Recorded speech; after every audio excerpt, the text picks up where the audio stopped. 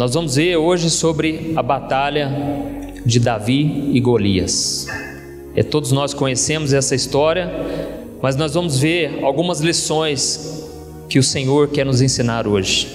1 Samuel capítulo 17, o versículo 2 ao versículo 11. Diz assim: Saul e os israelitas reuniram-se e acamparam no vale de Elá, posicionando-se em linha de batalha para enfrentar os filisteus.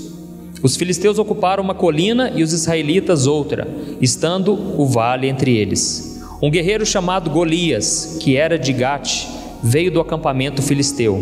Tinha dois metros e noventa centímetros de altura. Ele usava um capacete de bronze e vestia uma couraça de escamas de bronze que pesava 60 quilos. Nas pernas usava caneleiras de bronze e tinha um dardo de bronze pendurado nas costas. A haste de sua lança era parecida com uma lançadeira de tecelão, e sua ponta de ferro pesava sete quilos e duzentos gramas. Seu escudeiro ia à frente dele. Golias parou e gritou às tropas de Israel: Por que vocês estão se posicionando para a batalha? Não sou eu um filisteu e vocês os servos de Saul? Escolham um homem para lutar comigo. Se ele puder lutar e vencer-me, nós seremos seus escravos. Todavia, se eu vencer e o puser fora de combate, vocês serão nossos escravos e nos servirão. E acrescentou: Eu desafio hoje as tropas de Israel. Mandem-me um homem para lutar sozinho comigo. Irmãos, aqui nós vemos que Israel estava acampado no vale de Elá. E havia dois montes ali. De um lado estava Israel e de outro os filisteus. E então surgiu diante deles um gigante, um homem de dois metros e noventa, chamado Golias. E parecia impossível vencer esse homem. A Bíblia diz que esse homem afrontou Israel por 40 dias, se você continuar lendo aqui. Eu não sei o que você veio buscar nessa noite, mas eu creio que para muitos de vocês existe um gigante a ser vencido. Talvez o seu gigante seja dívidas. Você não consegue dormir porque você não encontra uma saída. Você não sabe de onde vai vir a solução. Talvez seja o teu relacionamento, o teu casamento. Você não consegue encontrar um modo de se relacionar melhor e você só vê a pior escolha, que seria um divórcio. Talvez esse seja o seu gigante, ou talvez seja o pecado que você vem lutando há tanto tempo, os vícios, algo que há tanto tempo você sofre e isso te aflige, te aflige. E aí o inimigo vem e te acusa, assim como o gigante acusava e afrontava o povo de Israel. Talvez seja o desânimo, você está frio espiritualmente, não consegue orar.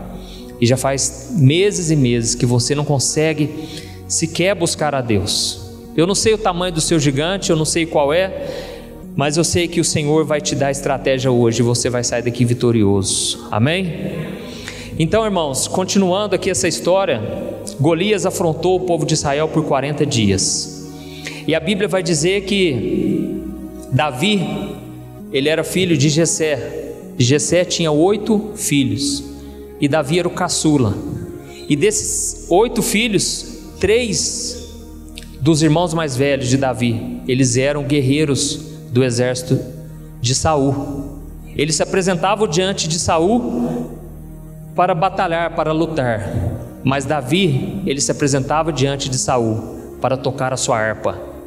Porque Davi era músico e ele tinha uma unção de Deus sobre a vida dele, era um homem de Deus.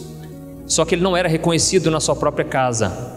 Ele tinha um chamado, ele tinha a presença do Senhor com ele, ao ponto de que quando Saul, que era o rei de Israel, ele estava ali atormentado por demônios, ele chamava o menino Davi para tocar a sua harpa e quando ele tocava, os demônios saíam.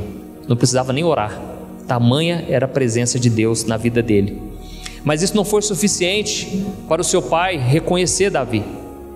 E Davi então sempre foi humilhado, sempre foi desacreditado, nunca foi valorizado. Você que é pai, você que é mãe, peça ao Senhor para abrir os seus olhos a respeito dos seus filhos, porque Deus tem um plano na vida deles. E você muitas vezes não, por não ter sabedoria, acaba negligenciando os dons, os talentos que Deus já deu para ele. Você hoje talvez pense: ah, mas se o meu filho fizer o que ele tem vontade de fazer, ele não vai ganhar dinheiro. Meu irmão, não se preocupe com isso, porque Deus é que cuida de nós, Deus é quem cuida dos seus filhos, mas você tem que preparar os seus filhos para cumprir o chamado de Deus, cumprir a missão que Deus tem. Porque se você forçar ele a ser uma coisa, pode ser que ele vai realmente cumprir o que você quer, mas ele vai ser um frustrado, ele vai ser um, uma pessoa infeliz, porque você não deixou ele exercer o que ele tinha vontade. Então creia que Deus tem um plano na vida dos seus filhos e incentive eles a buscar ao Senhor, a fazer aquilo né, que Deus os chamou para fazer. Então Jessé, o pai de Davi, ele viu que os filhos dele, os, os três moços que eram guerreiros, eles estavam indo lá nesse vale de Elá. Então Gessé, ele falou o seguinte: Davi, faz o seguinte, leva uns pães lá para os seus irmãos. Ele deixou as suas ovelhas e ele então, quando chegou naquele lugar, naquele vale, ele viu, foi exatamente o momento certo em que o gigante Golias estava se apresentando mais uma vez. Então Davi ficou muito curioso e ele viu Golias se afrontando todo o povo. E agora nós vamos ler a continuação, o versículo 22. 1 Samuel 17, o versículo 22 ao versículo 30. Olha o que está escrito: Davi deixou o que havia trazido com o responsável pelos suprimentos e correu para a linha de batalha para saber como estavam seus irmãos. Enquanto conversava com eles, Golias, o guerreiro filisteu de Gate, avançou e lançou seu desafio habitual. E Davi o ouviu. Quando os israelitas viram o homem, todos fugiram cheios de medo. Os israelitas diziam entre si: Vocês viram aquele homem? Ele veio desafiar Israel. O rei dará grandes riquezas a quem o vencer. Também lhe dará sua filha em casamento e isentará de impostos em Israel a família de seu pai. Davi perguntou aos soldados que estavam ao seu lado: O que receberá o homem que matar esse filisteu e salvar a honra de Israel? Quem é esse filisteu incircunciso para desafiar os exércitos do Deus vivo? Repetiram a Davi o que haviam comentado e lhe disseram: É isso que receberá o homem que matá-lo. Quando Eliabe, o irmão mais velho, ouviu Davi falando com os soldados, ficou muito irritado com ele e perguntou: Por que você veio até aqui? Com quem deixou aquelas poucas ovelhas no deserto? Sei que você é presunçoso e que o seu coração é mau. Você veio só para ver a batalha. E disse Davi: O que fiz agora? Será que não posso nem mesmo conversar? Ele então se virou para o outro e perguntou a mesma coisa, e os homens responderam-lhe como antes. Então, irmãos, aqui nós vemos o desprezo que os irmãos tinham por Davi. Eles falaram: Davi, o que você está fazendo aqui? Vai cuidar das tuas ovelhas, rapaz. Você não é guerreiro. Olha o seu tamanho, moleque. E eles então humilharam Davi. Mas Davi, ele achou aquilo uma afronta. Como pode um gigante desse vinha achar que pode vencer o exército de Israel. Davi era um homem de Deus, um homem íntimo do Senhor, e ele achou aquilo um absurdo. Só que quando ele falou aquilo, ninguém acreditou em Davi. E agora então nós vamos aprender algumas lições através dessa mensagem aqui. A primeira delas, irmãos, é que Deus, ele treina escondido a sua vida para depois Deus te honrar em público. Amém? Deus primeiro ele te treina no silêncio, sem ninguém ver, para depois ele te honrar diante das pessoas, daqueles que não acreditaram em você. E nós vamos ver a continuação, o versículo 31. Olha o que está escrito: As palavras de Davi chegaram aos ouvidos de Saul, que o mandou chamar. Davi disse a Saul: Ninguém deve ficar com o coração abatido por causa desse filisteu. Teu servo irá e lutará com ele. Respondeu Saul: Você não tem condições de lutar contra esse filisteu. Você é apenas um rapaz, e ele é um guerreiro desde a mocidade. Davi, entretanto, disse a Saul: Teu servo toma conta das ovelhas de seu pai. Quando aparece um leão ou um urso e leva uma ovelha do rebanho, eu vou atrás dele, dou-lhe golpes e livro a ovelha de sua boca. Quando se vira contra mim, eu pego pela juba e lhe dou golpes até matá-lo. Teu servo pôde matar um leão e um urso, esse filisteu incircunciso será como um deles, pois desafiou os exércitos do Deus vivo. O Senhor que me livrou das garras do leão e das garras do urso me livrará das mãos desse filisteu. Diante disso, Saul disse a Davi: Vá, e que o Senhor esteja com você. Glória a Deus. Irmãos, aqui a gente vê o que aconteceu depois que Davi se interessou por aquela batalha. Ele se apresentou ali para Saul e ele mostrou para Saul que ele já estava acostumado com batalhas, com lutas.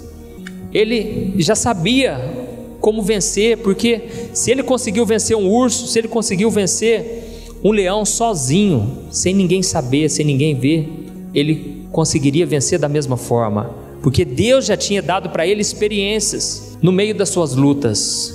E quando você lê a palavra vale na Bíblia, vale representa lutas, significa as batalhas que você enfrenta na sua vida, significa as lutas que você enfrenta. E eu aprendo algumas coisas. Primeiro, que vale, todo vale, ele tem um propósito. Você que hoje está passando por um vale, saiba que existe um propósito de Deus nisso tudo que você está passando. Por mais que você ache que não. A Bíblia diz lá em Romanos, capítulo 5, versículo 3 e 4. Ela diz assim: A tribulação produz a paciência, e a paciência a experiência, e a experiência a esperança. Como é que Davi tinha tanta esperança de que ele poderia vencer esse homem? Porque ele foi provado no vale. Ele tinha sido aprovado por Deus no meio das suas lutas, ali quando ele estava sozinho. Então nós entendemos que todo vale tem um propósito de nos amadurecer e nos preparar para aquilo que Deus tem reservado para nós. A segunda que uma coisa que eu aprendo é que vales são treinamentos em que a gente passa sozinho. Você não passa com ninguém, ninguém vai te entender. Você muitas vezes não vai ser entendido dentro da sua casa. Os teus pais não vão entender, os seus irmãos não vão entender. Mas continue confiando no Senhor, porque a vitória é sua. E tem uma passagem lá em Gênesis 32, o versículo 22 ao 24. Olha o que diz: Naquela noite, Jacó levantou-se, tomou suas duas mulheres, suas duas servas e seus onze filhos para atravessar o lugar de passagem do Jaboque. Depois de havê-los feito atravessar o ribeiro, fez também passar tudo o que possuía, e Jacó ficou sozinho. Então veio um homem que se pôs a lutar com ele até o amanhecer. Irmãos, todos nós conhecemos a história de Jacó. Ele estava fugindo do seu irmão estava passando uma grande luta porque o seu irmão queria matá-lo. E a Bíblia diz que ele, mesmo estando rodeado de muitas pessoas, ele teve que passar pelo vale de Jaboque. Como eu disse, vale representa luta. E ele ficou ali sozinho. E ele enfrentou o anjo do Senhor. Aquela noite toda brigando com ele. Mas foi ali, quando ele foi aprovado, quando Deus trocou o nome dele de Jacó para Israel que significa aquele que luta com Deus. Ali, quando Deus fez cumprir o propósito dele na vida de Jacó, ali Deus o abençoou.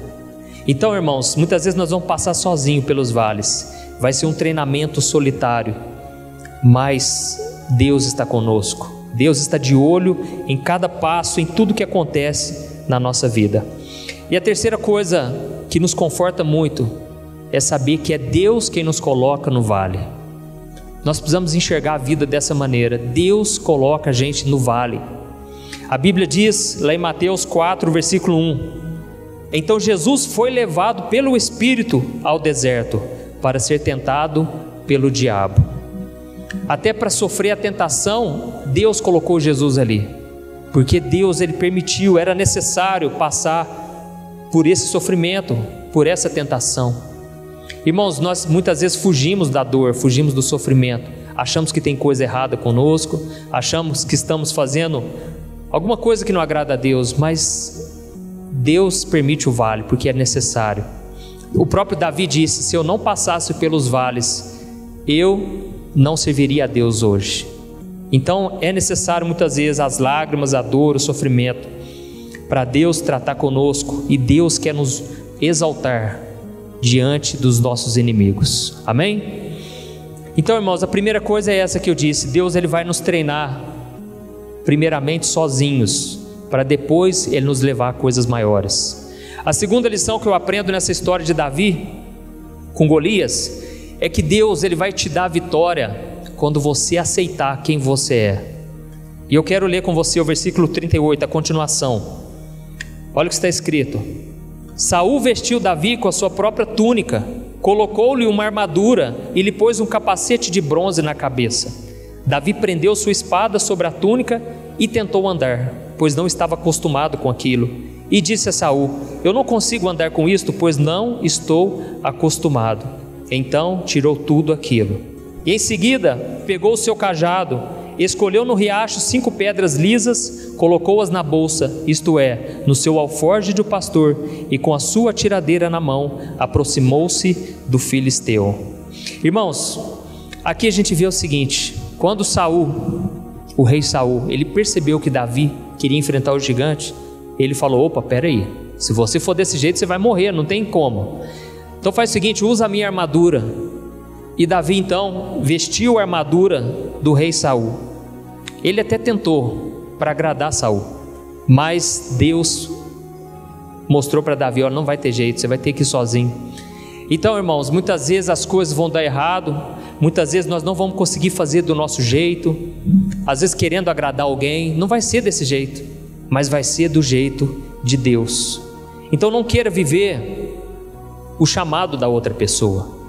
Aceite aquilo que Deus está te dando, as ferramentas que você tem, os dons, os talentos, a sua capacidade, porque é exatamente dessa maneira que Deus te fez que Deus vai te dar a vitória. Davi era esse menino que não estava acostumado com a malícia do mundo? Ou você acha que Saul queria que Davi vestisse a armadura porque Saul era um homem bom, queria proteger o menino? Não. Saul sabia que se esse menino ganhasse aqui a batalha, seria pelo mérito dele. Olha, foi a minha armadura que protegeu ele. Esse desejo de querer proteger demais, às vezes revela que ele tem essa intenção de ser o protetor, de ser aquele que vai guardar, mas irmãos, é só Deus que nos sustenta, Deus que nos protege. Então você já tem essa capacitação de Deus na tua vida. E se você tentar ser que nem a outra pessoa, você vai paralisar. Você vai perder o brilho. Você vai perder a unção de Deus, a graça, a essência que você tem. Irmãos, nós precisamos guardar o nosso coração, porque senão a gente pode nos perder por querer agradar a nossa família, querer agradar as pessoas próximas de nós. Nós precisamos confiar que Deus é por nós, que Deus vai nos dar a saída, a vitória, as estratégias. O Salmo 20, o versículo 7, diz assim: Alguns confiam em carros e outros em cavalos, mas nós confiamos no nome do Senhor nosso Deus. Foi Davi quem disse isso. Então, irmãos, nós precisamos confiar em Deus através daquilo que Ele já nos deu nós teremos a nossa vitória. Amém? A terceira lição que eu aprendo é que Deus ele vai te dar a vitória quando você resistir ao gigante, quando você não aceitar mais esse gigante na tua vida. Se você deixar, ele vai ficar te afrontando noite e dia, mas você precisa dar um basta nisso.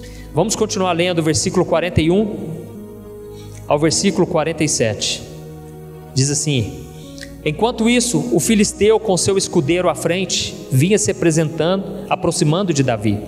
Olhou para Davi com desprezo, viu que era só um rapaz, ruivo e de boa aparência, e fez pouco caso dele. Disse ele a Davi: Por acaso sou um cão para que você venha contra mim com pedaços de pau?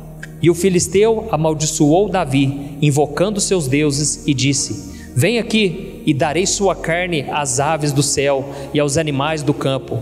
Davi, porém, disse ao filisteu: Você vem contra mim com espada, com lanças e com dardos, mas eu vou contra você em nome do Senhor dos Exércitos, o Deus dos exércitos de Israel, a quem você desafiou. Hoje mesmo o Senhor o entregará nas minhas mãos. Eu o matarei e cortarei a sua cabeça. Hoje mesmo darei os cadáveres do exército filisteu às aves do céu e aos animais selvagens, e toda a terra saberá que há Deus em Israel. Todos que estão aqui saberão que não é por espada ou por lança que o Senhor concede vitória, pois a batalha é do Senhor e Ele entregará a todos vocês em nossas mãos. Glória a Deus. Irmãos, nós podemos entender que essa batalha ela estava sendo travada no mundo espiritual. O gigante Golias, representando Satanás e os seus demônios, E eles então vieram para afrontar Davi, para humilhar ele, para fazer com que ele já entrasse na batalha derrotado. Irmãos, esse é o papel do diabo. Ele quer nos intimidar, ele quer nos passar medo, ele quer nos assustar, ele quer tirar o nosso foco de Jesus e ele quer que a gente foque somente no problema, somente na crise, somente nas dívidas, ele quer que a gente tire os olhos do Senhor, mas nós devemos olhar para Deus e falar: Senhor, eu não sei o que fazer, mas os meus olhos estão postos em Ti. Senhor, eu não sei como resolver essa situação, mas eu estou aqui, Senhor. Faz um milagre e me dê estratégia, Senhor, me mostra. Irmãos, nós não podemos ouvir a voz do inimigo, porque ele vem para nos amedrontar, ele vem para nos fazer pensar que já somos derrotados, mas a Bíblia diz, lá em Provérbios 24, 10: Se você fraqueja no dia da dificuldade, a sua força será muito limitada. Irmãos, se nós demonstrarmos fraqueza, se nós entregarmos os pontos, a nossa força vai se acabar. Ali nós vamos ficar na cama, deitados, e nós vamos perder essa batalha. Mas Deus, ele já prometeu a vitória. Se você perceber na Bíblia, toda vez que o povo de Israel obedecia a Deus, era vitória na certa. Não tinha uma batalha que eles não venciam, porque eles estavam na presença de Deus. Mas se você se entregar, se você se lançar diante do pecado, voltar a viver a vida que você tinha antes e você se esfriar, aí o inimigo vai ganhar força. Então você tem que resistir ao diabo pela fé. Esse é o segredo para a sua vitória. Lá em Tiago 4, versículo 7, está escrito assim: Se sujeitem a Deus e resistam ao diabo, pois ele fugirá de vocês. Irmãos, o diabo ele vai fugir de nós, porque nós temos o Espírito Santo de Deus, e a Bíblia diz que maior é aquele que está em nós do que aquele que está lá fora. Então, nós precisamos resistir ao inimigo pela fé. E a Bíblia diz que os irmãos de Davi, eles tinham a força, eles tinham todas as habilidades de guerra, mas diante do inimigo tão poderoso, tão forte, eles tremiam. Eles não sabiam o que fazer. O próprio rei Saul tremia junto com eles. Tamanha era a afronta do inimigo. Mas por que Davi ele tinha aquela ousadia? Porque Davi ele andava com Deus. Ele não parava de buscar o Senhor. E a Bíblia diz lá em Provérbios 28, versículo 1: o ímpio foge, embora ninguém o persiga, mas os justos são corajosos como o leão. Amém? Você está precisando dessa coragem? Você está precisando dessa força na tua vida? Você precisa buscar a Deus. Você precisa clamar pela misericórdia de Deus, porque Ele quer fazer de você um corajoso. Irmãos, os problemas vão ser iguais da mesma forma para todo mundo, mas a forma como você reage a esse problema vai garantir a sua derrota ou a sua vitória. Então é hora de você se levantar e você enfrentar esse leão que está na sua frente, enfrentar esse gigante com a força do Espírito Santo. Então essa é a terceira lição que eu aprendo. Deus, ele nos honra. Deus honra a nossa fé. Ele nos dá a vitória quando a gente enfrenta o gigante. Quando a gente não aceita a derrota, aí você está falando a mesma linguagem que atinge, que toca o coração de Deus, é a linguagem da fé. Você não está vendo um palmo na tua frente, você não vê uma saída, mas você sabe porque sabe que a vitória já é sua, porque a fé já brotou no teu coração. Glória a Deus. E a última lição que eu aprendo, irmãos, é que quando você vencer esse gigante, Deus ele vai te levar no novo nível, algo que você ainda não conhece. Vai ser uma nova realidade na sua vida. Você estava acostumado a viver, às vezes, na escassez a vida inteira. Deus vai te dar abundância. Você tinha um sonho no teu coração. Deus vai conceder esse sonho no teu coração. Você achava impossível, agora Deus vai te mostrar que para Ele nada é difícil demais. E aquilo vai se tornar um testemunho, um troféu na tua vida. Você vai ver que Deus é poderoso para fazer infinitamente mais do que tudo o que pedimos ou pensamos, segundo o seu poder que opera em nós. 1 Samuel 17, versículo 48. Quando o filisteu começou a vir na direção de Davi, este correu para a linha de batalha para enfrentá-lo. Tirando uma pedra de seu alforge, arremessou-a com a tiradeira e atingiu o filisteu na testa, de tal modo que ela ficou encravada, e ele caiu, dando com o rosto no chão. Assim Davi venceu o filisteu com uma tiradeira e uma pedra, sem espada na mão, derrubou o filisteu e o matou.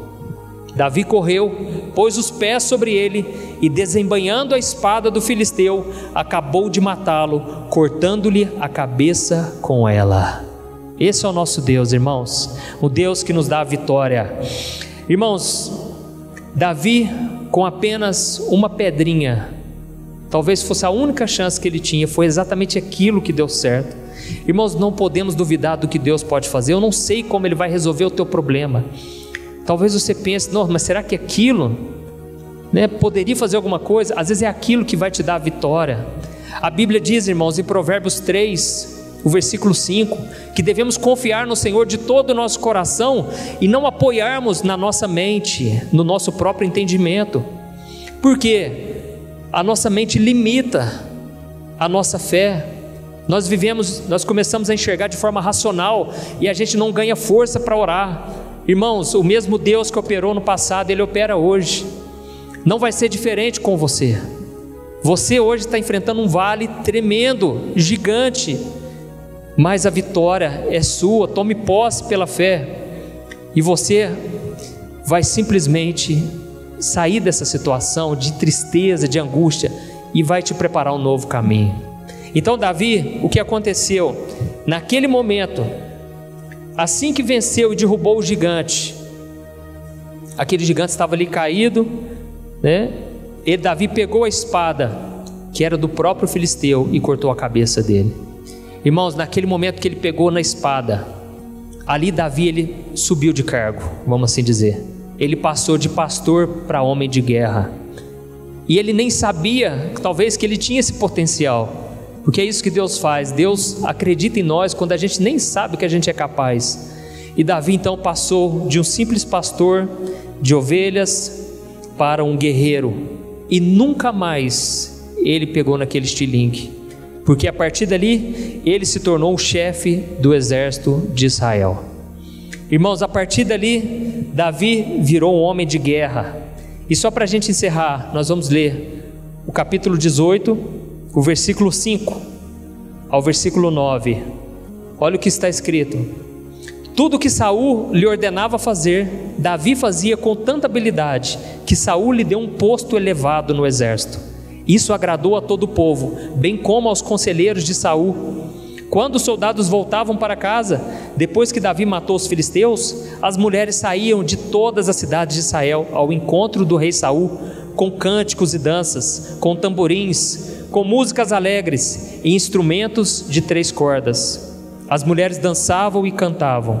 Saul matou milhares, Davi dezenas de milhares. Saul ficou muito irritado com esse refrão e aborrecido disse: Atribuíram a Davi dezenas de milhares, mas a, pinha, mas a mim apenas milhares. O que mais lhe falta senão o reino? Daí em diante, Saul olhava com inveja para Davi. Irmãos, assim que Davi ele matou aquele gigante, ele saiu andando com a cabeça daquele gigante e Saul mandou alguém levar Davi até a presença dele.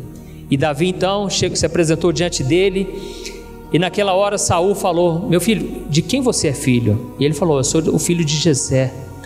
E Saul então, como havia prometido, ele cumpriu a promessa. A família de Davi nunca mais pagaria impostos. Imagina isso, irmãos. Que benção. Davi agora se casaria com, filho, com a filha do rei. E a Bíblia diz que Davi ficou tão amigo do filho de, de Saul, que era Jonatas, que eles eram amigos íntimos e era uma amizade maravilhosa. Então Saul ficou encantado com aquele jovem Davi e ele decidiu colocar ele como chefe do exército. Então Davi começou a crescer ali, porque era um homem de Deus, um homem que levava a sério as coisas que fazia, era responsável. Só que tinha um problema: o sucesso de Davi começou a incomodar Saul. E a Bíblia diz que as mulheres, quando Davi voltava, elas elogiavam Davi, fizeram até uma musiquinha. E nessa música elas diziam: Davi matou dezenas de milhares. e Saul matou apenas milhares. Olha o inimigo já trabalhando ali, né, contra Davi, porque indiretamente o inimigo iria usar a vida de Saul para tentar contra Davi. E a Bíblia diz que naquele momento Saul ficou com ódio, com inveja de Davi, e ele falou: "O que está faltando mais então? Esse povo agora parece que só quer saber de Davi". Irmãos, as pessoas elas vão nos incentivar, elas vão acreditar em nós até o ponto em que a gente não ultrapasse elas. Pode reparar. As, o ser humano é dessa forma. O ser humano fica feliz de saber que você está crescendo na vida desde que você não passe ele. Porque se você começar a passar ele, ali, se ele não tiver o Espírito Santo, se ele não for guiado por Deus, ele pode ter inveja de você. E foi o que aconteceu. Saul, ele tinha unção de Deus. Ele tinha a bênção de Deus na vida dele, mas ele perdeu tudo por causa da inveja. E a partir dali continuou perseguindo Davi, tentou várias, de várias formas matar Davi, mas Deus estava com Davi. E no tempo certo, Deus promoveu ele mais uma vez, de guerreiro para o rei de Israel. Davi ocupou o trono que era de Saul, porque Deus tem compromisso com aqueles que têm compromisso com ele. E apesar dos alertas, Saul não quis se arrepender. Ele deixou que a inveja tomasse conta. Então, irmãos, Deus tem vitória para nós, mas a forma como a gente lida com o problema, com os desafios da nossa vida, vai determinar se nós vamos perder essa batalha ou se nós vamos ganhar. E eu gostaria que você ficasse em pé para nós orarmos. E esse é o momento em que você vai se apresentar diante de Deus e você vai pedir para o Senhor renovar a tua fé, a tua esperança. Eu sei que é, é forte o inimigo, eu sei que as afrontas são muito grandes e você já não está tendo força mais para se levantar. Mas o Espírito do Senhor, ele vai renovar a tua vida. Porque a promessa é de que a árvore cortada, ela será renovada, ela voltará a dar os seus frutos ao cheiro das águas do Espírito Santo. Amém? Feche teus olhos e vamos orar. Senhor, meu Deus e meu Pai, nós te agradecemos, Senhor, pela tua palavra. Pai, eu creio que essa palavra ela é viva e eficaz. Ela é poderosa para mudar nossas vidas, Deus. Deus, se fosse somente letras, a nossa vida não, não mudaria nada. Mas as tuas palavras são espírito e são vida. As tuas palavras são recheadas de unção. Pai, eu te peço, Senhor, que esta palavra se cumpra na vida dos meus irmãos. Deus, o vale tem sido grande demais. Mas, Senhor, eu creio que todo vale tem um propósito, meu Pai. Eu creio, Deus, que esse vale foi o Senhor quem colocou, Pai, para nos amadurecer, para tratar conosco, para nos disciplinar. Senhor, meu Deus, a luta tem sido grande, Senhor. Eu consigo ver, meu Pai, no coração dos meus irmãos uma tristeza, uma angústia que parece que nunca vai acabar, meu Pai, porque já faz, já faz muito tempo, Senhor. Mas, Senhor, eu te peço agora, renova, Senhor, renova a fé, renova a esperança, Senhor, no coração do teu povo, porque maior é aquele que está em nós do que aquele que está no mundo. Meu Deus, não deixa a gente se entregar diante do problema mas que nós possamos voltar os nossos olhos para Ti. Nós não sabemos como fazer, como resolver, mas nós cremos no Deus do impossível. Ainda que as circunstâncias não mudem da noite para o dia, Pai, que o nosso coração venha mudar, Senhor. Muda o coração, tira a amargura, Pai, deste homem, desta mulher, tira a falta de fé, tira o desânimo, Senhor. Tira, Senhor, toda a depressão, meu Pai. Deus, traga alegria a esse coração que só sabe chorar, meu Pai. Alegra de novo, Pai. Traz esperança, Senhor. Nós já perdemos a esperança nos homens, Pai. Os líderes têm caído, têm nos decepcionado, meu Pai. E quantos agora não conseguem acreditar?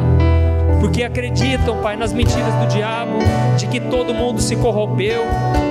Senhor, meu Deus, tira de nós, Pai, tudo aquilo que atrapalha a nossa fé toda incredulidade, todo monte que está diante de nós, que se levanta contra o Senhor. Tira da nossa frente, Senhor, tudo que hoje, Senhor, é empecilho para, para o nosso crescimento.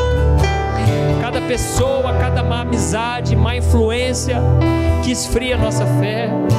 Pai, hoje nós passamos mais tempo nas redes sociais do que buscando ao Senhor, e isso explica porque hoje tantos estão frios, morrendo na fé. Senhor, meu Deus, nós possamos voltar os nossos olhos para Ti, porque é do Senhor que vem a vitória. A vitória não vem deste mundo, não vem dos conselhos dos ímpios, não vem da roda dos escarnecedores, mas vem em meditarmos na Tua palavra dia e noite, em buscarmos ao Senhor. Em nome de Jesus, Pai, que a unção, Pai, repouse sobre nós e que ela venha estar conosco todos os dias, Pai. Que o Senhor nos dê estratégias, nos mostra como vencer essa batalha, Pai. E desde já nós oramos por nossos familiares, por as pessoas à nossa volta que estão angustiadas. Pai, elas não têm talvez a mesma fé que nós temos, elas não conhecem o Deus que nós conhecemos, mas por isso nós intercedemos por elas e te pedimos, tenha misericórdia, Pai, destas vidas. Muitas vezes eles tropeçam e caem, mas nós que somos do Senhor, voamos como asas, com asas de águia nós renovamos a nossa fé porque conhecemos o Senhor, mas eles não conhecem, meu Pai. Eles agora estão desesperados porque não conhecem a esperança que, é, que está em Cristo Jesus. Por isso nós te pedimos, tem misericórdia deles. E se for preciso, se for preciso, Pai, coloca a gente na frente deles para falar dessa esperança que é Jesus Cristo. Senhor, em nome de Jesus, nos dê a ousadia de um leão que a gente possa resistir ao mal na nossa casa. Quando a gente voltar para nossa casa, que a gente volte de cabeça erguida, orando em voz alta, repreendendo todo mal. Pai, porque agora o Espírito do Senhor é quem governa a nossa vida. E desde já, Pai, nós te agradecemos por tudo que o Senhor vai fazer. Eu creio, meu Pai, essa palavra não foi em vão. Eu creio que vai trazer frutos. Eu creio que vai começar uma nova etapa a partir de hoje. Essa pessoa que está me ouvindo, Pai, eu creio. O Espírito do Senhor vai renovar as forças dela. Eu já te agradeço. Em nome do Senhor Jesus. Amém. Glória a Deus.